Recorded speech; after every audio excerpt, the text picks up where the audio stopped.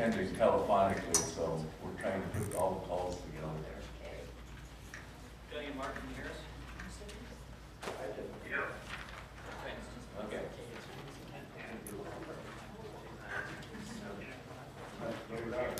All right.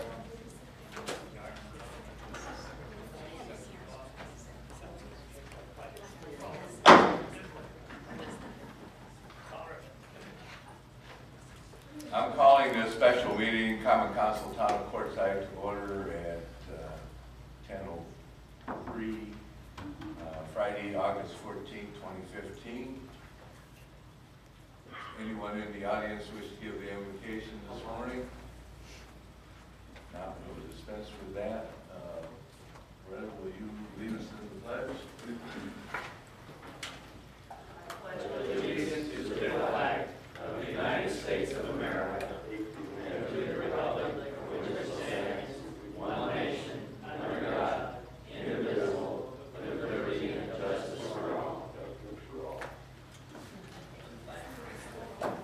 Okay. Will the clerk please call the roll? Mayor Foster. Eric. Vice Mayor Simpson. Here. Councilmember Kelly. Here. Councilmember Warner. Here. Councilmember Orgeron. Here. Councilmember Davidson. Here. Councilmember St. Germain. Here. Okay. Uh, This is to be a uh, public hearing concerning the budget for the town of Quartzsite. So at this time, we're opening a public hearing. Members of the audience can speak to the budget concerns.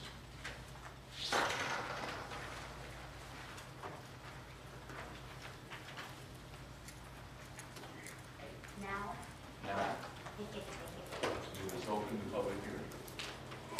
Anyone with questions approach the podium. Council, good morning, Star Bearcat. Um, I think one of the things that really needs to be considered in this budget is funding the, um, animal control portion of it. Can you What? speak up a little so they can hear, please? The guys on the phone can't hear you. Okay, I'll, I'll try and speak up a little louder then. How's that? All right, Star Bearcat. I think in this budget, we need to address the animal control and funding the um, department or person or whatever it's going to take to get it done. The animal control situation in Quartzsite, as most people understand, is uh, a little out of control. Uh, Thank you very much.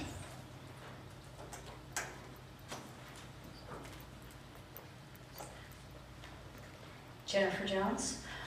I don't know how many of you bothered to read the last issue of my newspaper, but there was a very interesting article by uh, one of the business people that comes here in the winter, David Paleosanto, on how to understand what's in the CAFR budget, the budget that is online at the town website. And one of the things that he noticed was that a certain amount of debt that is not due in this, in that fiscal year budget, which was 2013, 2014, uh, was listed basically in, in the section where it was deducted from like debt that was due. And so there, according to him, there was several million dollars that was in the account that was, in, in his opinion, being hidden from the uh, information on the town. Now, I'm not sure if that's correct. He also, I mean, at least numerically it's correct, but I'm not sure uh, the status of that, I don't know, six, eight million dollars, whatever it was. Also, he did say that the town, the municipalities often have CDs or other investments. I think it would be nice if the town could confirm or deny if there are any other investments that are not listed as short-term investments, um, you know, that are uh, in six months or less. I, I would hope you had read the article coming into this budget meeting. Again, um, I've heard nothing whatsoever from anybody up in, in, in any of the budget talks about the Bridge the Gap loan with the Water Infrastructure Fund. It's my understanding, and I have all those loan documents at home on my computer, but that we had a, a loan that uh, was due in full, not in payments, but in full in this fiscal year. So I have, a, I, you know, I don't know if we're running on some sort of a cushion on these funds that weren't that were listed in this other section on the comprehensive annual financial report. I do know that at that time there was nearly $3 million in illegally supplanted HURF funds. I believe that's probably slightly larger, maybe 3, 3.1 now, I don't know. But I believe that the amount of cash we had on hand at the last council meeting was less than $3 million. And I'd like to remind council that HURF is not alone. If we are going to continue to run this town with the highway user revenue funds in the actual same bank account as the general fund, then every penny that's in that fund belongs to HURF, not to the town. And we're still apparently in a shortfall. We need to have these accounts, these um, allocated accounts, in separate accounts so that when there's an interfund transfer, the council approves the transfer and it physically moves from one bank account to another. Because if we owe, say, $3.1 million to HURF and we have $2.9 million in the general fund, that means this town is upside down. We have a budget that is coming at us that has had no substantive cuts in personnel, no substantive cuts in um, in department spending other than to move employees from one department to public works so that we can basically pay them with highway user revenue funds. I think that we really should have a legal opinion drawn up as to whether or not that is legal and proper and how those employees, if they're doing 20% of their work under public works, why, uh, how we're going to, to divvy it up in the budget that the other 80% of their work is actually in utilities or actually in parks and recreations or whatever that the case may be. I think this is a very serious issue given that we have formulated no feasible, reasonable way to address this $3 million deficit to the Highway User Revenue Fund. And I, I want to remind the council that that's, the allocation of HURF funds is not just statutory under Arizona revised statutes. It is in the Arizona revised constitution. If we do not address where we're going to come up with this $3 million, then every single public official in this town is in violation of their oath of office because you take an oath to uphold the Constitution and the laws of the state of Arizona. And that is not our money. It needs to be in the Highway User Revenue Fund. On the good note, um, ADOT has started to pave part of 95 and they've come partway down Kewen. We could, as I said months ago, uh, actually put Public Works on that project and we could finish paving Kewen and that would give us, give us something we can lawfully do with our HURF money and you know move some employees over there and then we could do some payroll with that and things like that. I realize yes we can buy vehicles and trucks for Public Works with HURF money and things like that but we cannot use it to make payroll for other departments. We cannot use it to revamp the well. We cannot use it for the things that we've done with it in the past. And I'm going to suggest again to council that we look at going to a four-day work week. Our vendor season has been drastically reduced. We're busy, really busy, maybe 90 days out of the year, maybe December, January, February. At that point, the additional people that we need to hire that are seasonal are gone. The county has a four-day work week. Blythe has a four-day work week. We can go to that same schedule. This town needs to suck it up, tighten its belt, make real, meaningful cuts. We need to stop having full-time employees. We need to cut out the benefits. There are no jobs. I mean, there are people standing begging on the street corner that apparently can't even get hired at Carl's Jr. where they have a sign. But we have a shortage of jobs. People are not going to leave if you cut it back. They're just going to make adjustments. But if we have four-day work weeks, eight-hour days, we close on Monday, we can, or whatever the case may be, we can also turn the lights off in the hot months and save the air conditioning. I think Blythe probably saves about $30,000 a year just in electricity by doing that alone. Um, you know, there are things that need to be done. I brought these things up in the past. They just fall into a black hole. We really, really need to look at, are we filling vacant positions or are those positions vacant because they're not needed? The town's not growing, it's in a negative growth cycle. We're not bringing in new revenue. We cannot afford to balance this budget on the backs of these people out here in, in the town. I mean, this is literally the poorest county in the state. Quartzsite has the lowest cost of living, it is the cheapest place to live. These are the poorest of the poor. And all I've heard is, how do we generate new revenue? We need new streams of revenue. No, no, we don't. We need to cut spending.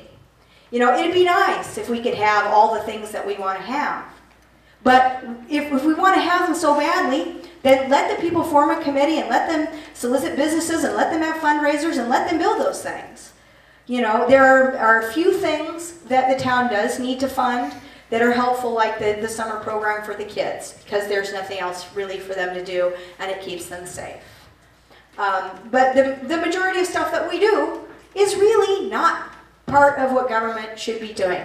infrastructure, public safety. Cut the fat, get real, and let's get this budget down where we're addressing the HURF issue before the Attorney General comes in and addresses it for you. Thank you. Thank you. Anyone else? No, no further uh, interest from the public hearing. Uh, We can close the public hearing portion of this meeting. Public hearing portion is closed, and we can proceed with the administration portion of this. Uh, of- Well, we're going to present the final budget. Uh, Do you, uh, is, there's no, no changes in this budget from all the other meetings we've had, is there? This is, this budget, this budget is as presented to uh, council, uh, as it was approved as a tentative budget at the June 30th meeting. I Okay. don't agree. We have a, do you want to explain the, uh, I believe there is a discrepancy in one of the, That's the contract for water department? Yes. was that changed after June 30th? No. I don't Okay. think- I don't think so, actually. In this budget that we have here, Is that for the June That thirtieth? is a breakdown. it says, the budget that I have in front of me says June the 9th, so I don't have the one for oh, June 30th. Okay. The- But according to it from here, there's a hundred thousand dollar difference, and I'd just like to an explanation as to what that is. Yeah, the, the June, June thirtieth, um, budget, uh, I believe what you're talking about is a discrepancy in the water line item.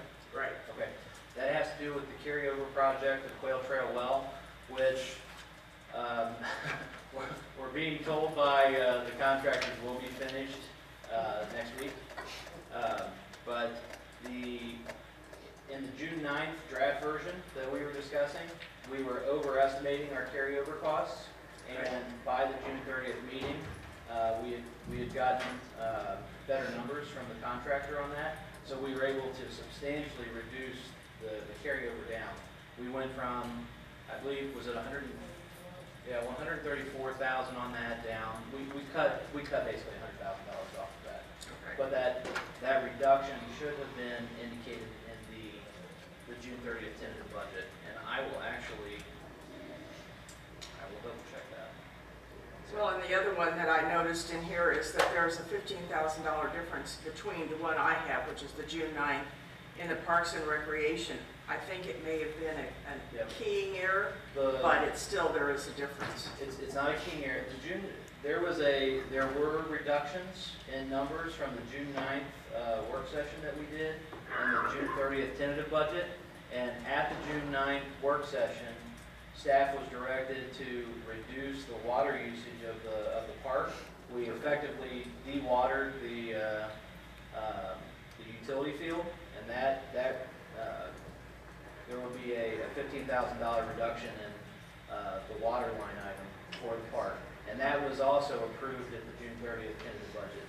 Okay, well, the, and the other question that I have in the tax revenue, does this include the sales tax revenue? Is this including the collections that we have been getting? I mean, we don't, because we don't get any report as to where we are on collections. Right. Um, it, it does have minimal collections. We, we, uh, we're very conservative on, on the sales tax revenue portion of our, of our revenue. So hopefully we have, uh, we've estimated, uh, very low on that so that we're, we're going to, uh, we're gonna cover that number. Okay, so So what I'm hearing is this is actually what you think is gonna come in in sales tax, but it doesn't reflect anything that we had in prior year sales tax collections. Is that correct? It has very little. Okay. There is some, I believe, is it sixty thousand? Yeah, I believe it's sixty thousand, Okay. which.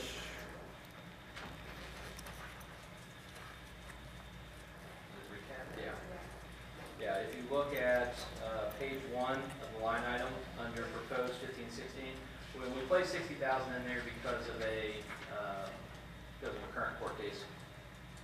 So that sixty thousand is, uh, a number that we're, we're confident in, but anything on top of that is i- icing on the cake, as it were. Okay, and that's this re- That's, recap- that's the vendors- recap vendor sales tax. Yep. On the water, uh, cutting the water to the park, Yes, sir. that fifteen thousand that you say we saved, Yes. was that not payable back to us? And did you take it off the income portion also? Yes. Should have offset.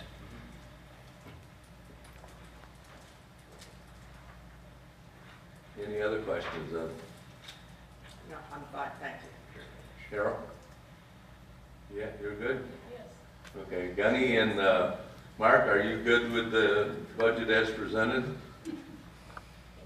Oh, yeah, I'm, I'm good. Okay, all right. Then, we can move on to uh, adopting the final budget for FY 2015-2016, discussion re- review of resolution to adopt the final budget for the fiscal year 2015-2016.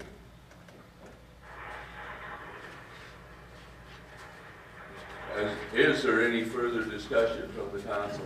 Yeah, I. Um, I kind of agree with what Jennifer had to say, that we haven't reduced the number of employees near enough. It says here we got 40 full-time, six part-time, and three temporary. I'd like to see the uh, temporary cut to zero, the part-time cut to three, and the full-time cut to 38. That way we save a significant amount of money. I'd like to ask where we're at with spending of HURF money. Uh, Are we using highway user funds now to supplement the general fund? On a daily basis. We are, um, HURF is, because of the current situation that we're in, uh, as we've discussed, uh, what we have in the bank account is, is effectively HURF dollars and, and has been for quite some time. But we don't turn the lights off and we don't stop providing services because, uh, because of that situation. We do have a healthy cash flow, as discussed by the, um, the state auditor. We, um, we do have the, the revenue stream to, to operate at the levels that we have. What we need to do is make a concerted effort to incrementally pay back our own HURF funds. Um, and, and we're doing that. That's why we, we strove to cut two hundred fifty thousand dollars from this budget. Um, I'm not in favor of just arbitrarily cutting staff. Uh, We have done, we've looked at some creative ways to um, reduce our general fund expenditures and utilize HURF in a legal manner. We've worked with the state auditor, our accounting services on this, and we have checked with the town attorneys. Um, The allocations between HURF and general fund sources is not a new thing, we're just expanding that. Um, That's, it's been a common practice here and across the state for, I'm, I'm gonna say decades, since the inception of this town. Um, You know, as an example, our, our parks employees, because they have, they have duties within the, uh, the parks and within the right-of-way, they've been paid, uh, on average 50/50 out of, out of general fund and HURF for as long as I know of. So this is not, this isn't new, this has been, um, an approved, acceptable practice by the state, uh, the, the auditors for, we, we've never been deemed on that. So, um, I, I believe that we are operating responsibly, and I think we found a, um, I dare say innovative way to, to streamline general fund expenditures while, while maintaining, you know, current, uh, current service levels. It's my understanding that when Dan Field was in here, we owed HURF for approximately five hundred thousand dollars, and now it's grown to over three million uh, in the last two terms. Uh, That looks to me like we're going the wrong direction, and, and it would take a major about face to, to make me believe that we are uh, in fact addressing it. And we haven't made any uh, substantial cuts anywhere. Uh, You, you did get us some, some uh, dollars credited, eighty thousand, I believe it was, on the HURF uh, due to our water use by our departments, but uh, Was it two hundred forty thousand total over two years? That's, that was a, a good move, but short of saying enough, timeout, let's stop, let's roll back everything, w- we need to, to stop and take a look at it, and, uh, to me, we haven't done enough. If you look at the, if, if you look at the, uh, HURF, um, expenditures over, over the last ten years, they've actually fluctuated, uh, up quite a bit. Um, They were actually, I think, at an all-time high of, um, I wanna say three point, I, I, don't wanna just pull numbers out of the air. They were much higher than five hundred thousand dollars, uh, even, even during the 2000 2008, 2010 era. There was actually a reduction in, in two thousand eleven. At one point in time, I think back in two thousand five or so, they were completely paid off, and then the next year they went up. Um, it, it, it fluctuated. We are at, we are at a high point that I'm not comfortable with. Uh, you, you saw at our last, um, uh, financial report, auditing report, that we were at two point six million dollars. We didn't do that in one year, and we're not going to repay it all in one year. Uh, I want to consistently show a budget that, that produces a, a surplus, so that that reserve can be used to incrementally pay back HURF. We will not spend hundred percent of, of general fund revenue that comes in. And, the- and the unrestricted dollars of that will go back to paying HURF. We've not been funded properly on the general fund forever. Uh, We don't have the general fund tax base to do that. Uh, That, that being said, I haven't heard of any other municipality, uh, town, county, state, that has not rolled back and has not had to RIF employees uh, as doing their portion of trying to cut expenses. And uh, while nobody wants to RIF employees, sometimes it's necessary. Uh, Some other benefits need to be rolled back. Uh, It would be nice for us to give us all the perks to our citizens, uh, everything that a big city could, but we're not there. We don't have the funding to do that. Uh, And uh, short of a, a real property tax revenue general fund stream, I don't know where it's gonna come from. Our, our one system to get out of this is bringing in new, larger businesses that can help fund their own infrastructure and help get us a a revenue stream. And in this budget, council did direct me to, to include the, uh, the financing of of partnering with regional economic development, uh, uh, parties, so that we can, we can encourage that new business. You're absolutely right. Anything else? You got, you got any, Mark and uh, Gunny, you have any questions or discussion? No, I, I, I don't. My only thing is, yeah, I, I think we need to approve the budget as, as it is right now. And if we're going to start looking for cuts, then I think that that is something that we can look to address after or towards the end of the winter season.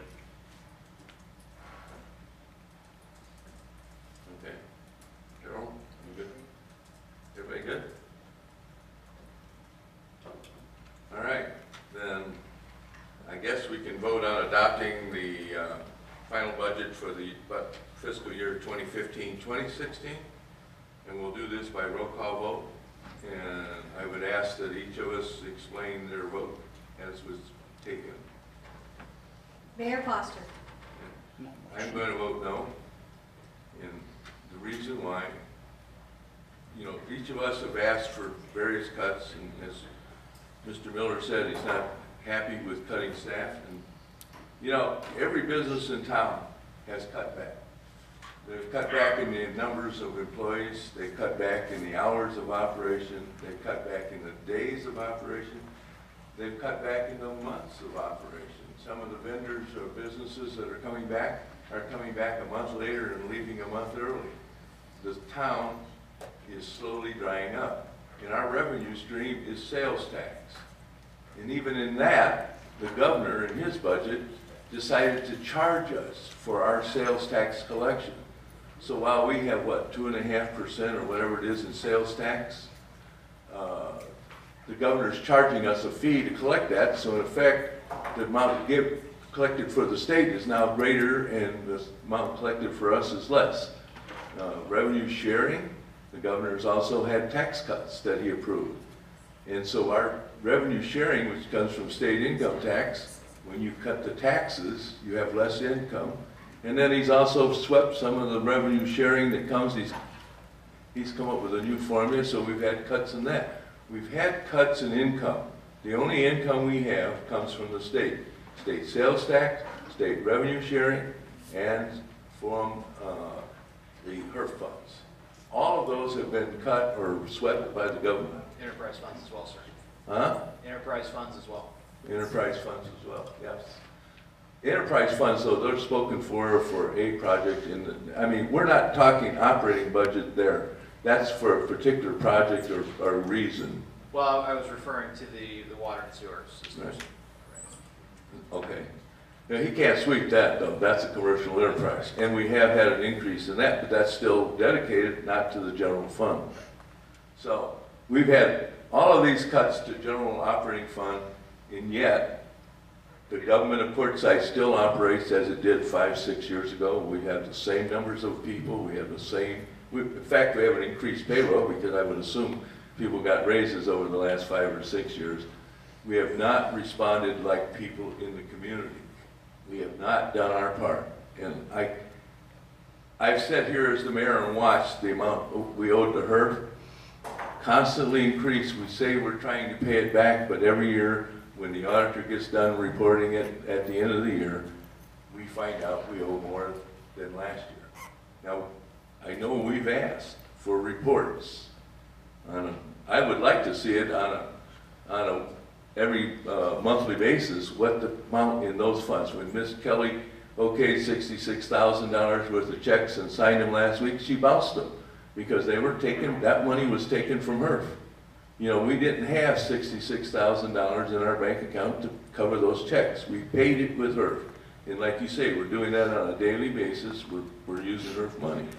And I can't Although, you know, you, you assure us this budget is allowing us to repay some of the HURF, but every year it grows. You know, I, I'm sure your assurance is, but I would just like to see, like Mr. Davidson, I'd like to see substantial cuts. I'd like to see this town reacting to the fact that come, uh, after the season, when it's May or June, the people leave, the town should cut back on staff and, and react to that. We should have a, a plan, an employee plan, that allows the staff considerations to be here during the season of, say, November through, uh, May or April, and then the town ought to cut back. We, we have to react, we have to start repaying substantially on this HURF fund.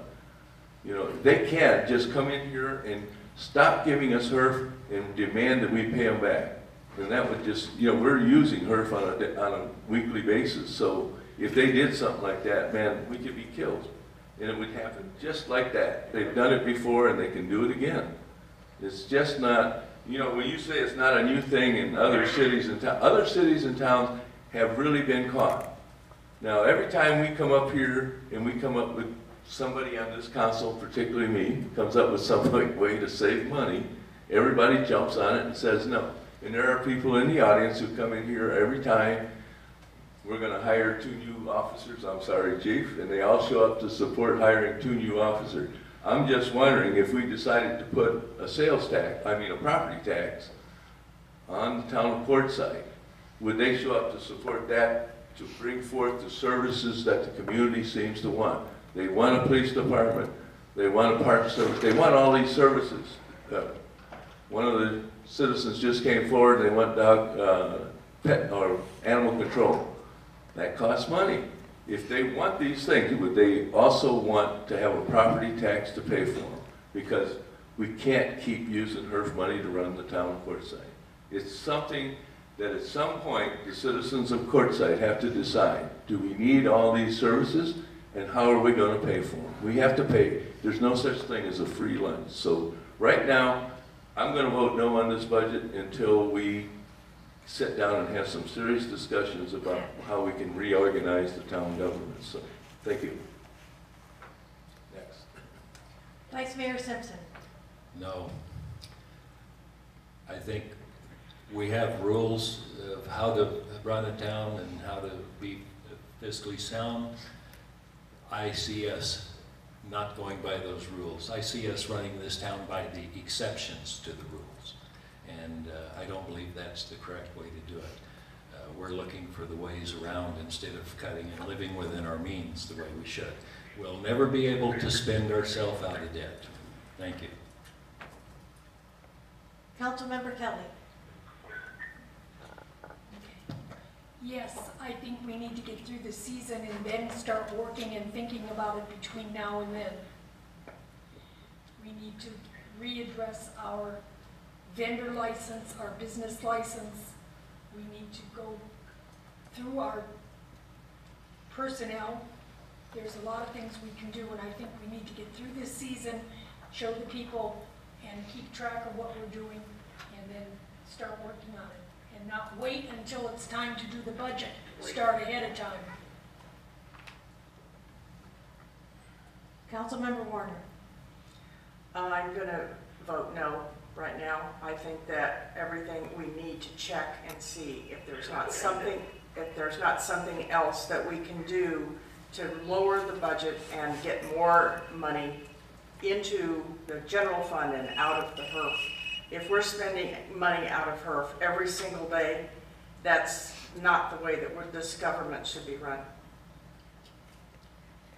Councilmember Orgeron. Okay, can everybody hear me? Yep. Okay, my vote is yes, and we have a balanced budget, and what I hear are a lot of no's from those who want to give our money to this La Paz's economic development. And all those that want to give that money to La Paz's economic development are going to be voting no on the budget today.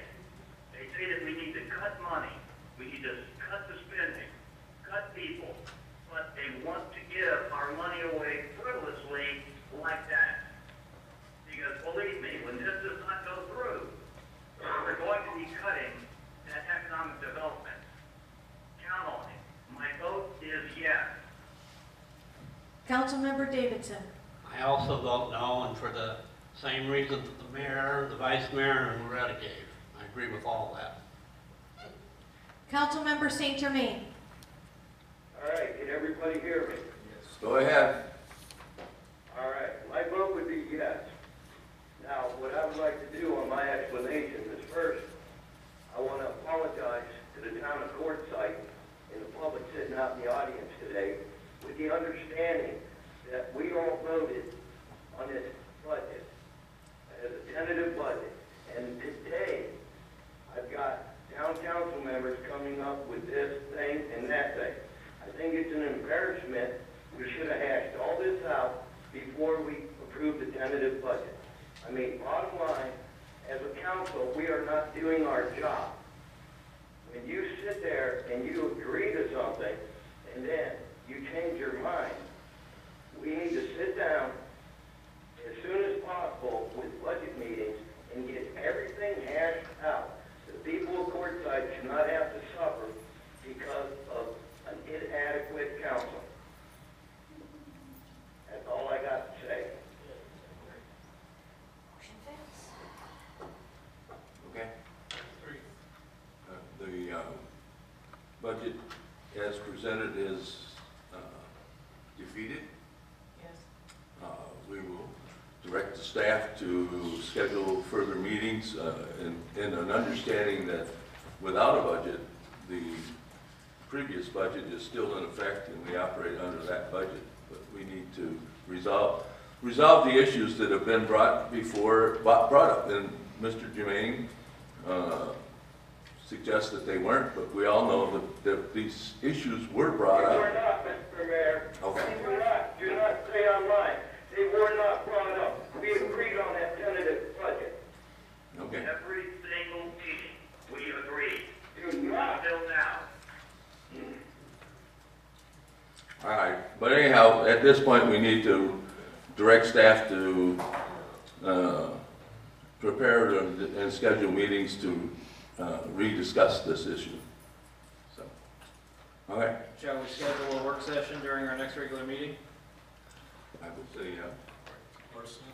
or sooner even. Well, As soon as possible. all, or the all week soonest. next week We get the is next the regular conference. meeting. The next regular meeting's fine.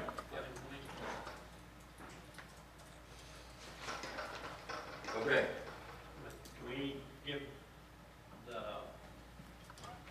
town manager direction to investigate significant cuts in uh, personnel? no, no, not now. I think what we, I think what we should do is we should discuss that at that point in time. Yes, you're right. We should at the, at a, in a, with that on the agenda. We need to do it with, when that's on the agenda, so. All right. No further discussions? Do I have a motion to adjourn? We adjourn. Second. Moved and seconded to adjourn. All in favor signify by saying aye. Aye. Aye. All opposed?